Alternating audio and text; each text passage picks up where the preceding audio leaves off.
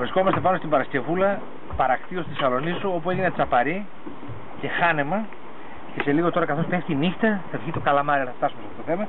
Και ήδη έχουμε μισό κουβά, χάνους, σαφρίδια, κανένα δυο σκαθαράκια, μέλλονε, μπράβο. Και γενικώς η βραδιά προϊονίζεται πλήρης και παραγωγική. Ο Γιάννης ετοιμάζει καλαμαριές τρομακτικές. να το Ε;